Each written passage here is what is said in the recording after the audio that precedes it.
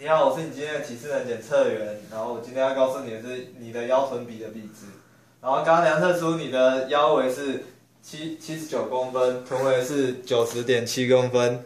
然后呃计算出来的值是零点八七一多，然后计算出来为什么要计算出这个腰臀比呢？就是要看你的有没有肥胖，或者是你的心血管疾病等等这些风险因子，你是不是比较偏高？然后呃，接下来我们要对照常模，依照常模，男性的正常值在零点八五到零点九之间，异常是大于零点九五。呃，你是零点八七，所以也就是在正常值之间。呃，那所以你的你的风险因子就比较低，就没呃比较没有这种风险因子，这样就可以了。